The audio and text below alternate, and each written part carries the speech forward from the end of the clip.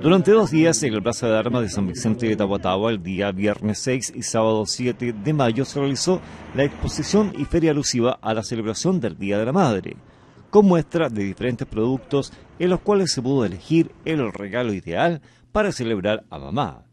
Destacando el día sábado 7 desde las 13 horas, donde se realizó un gran show con artistas locales, los cuales se presentaron para el deleite de las madres que llegaron hasta la Plaza de Armas.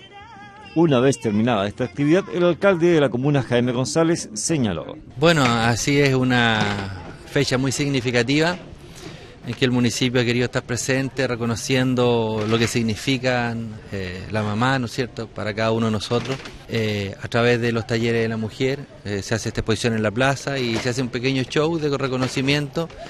de tal manera que nosotros decimos estamos presentes, agradeciendo la labor de todas las mamitas de, nuestro pueblo, deseándole el mayor de los éxitos en su familia, eh, que, con la, que exista armonía en el hogar y por sobre todo el bienestar de sus hijos, ¿no es cierto? Que es el, es el velar permanente de toda mamá. Así que un abrazo de parte nuestra, de parte mía, de parte del municipio, a todos ustedes, las mamás de nuestra comuna.